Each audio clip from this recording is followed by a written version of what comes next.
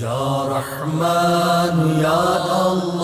इर्शाद बारी ताला है उन लोगों ने कहा ए जुलकरनैन याजूज और माजूज ने इस इलाके में बड़ा फसाद बर्पा कर रखा है तो क्या हम आपके लिए कुछ खराज मुकर कर दें ताकि आप हमारे और उनके दरमियान एक बुलंद दीवार बना दें तो वो बोले वो दौलत जिसमें मुझे मेरे रब ने इख्तियार दिया है वो बेहतर है बस तुम जिस्मानी मुशक्कत से मेरी मदद करो मैं तुम्हारे और उनके दरमियान एक मजबूत आड़ बना दूंगा حق ام ہوا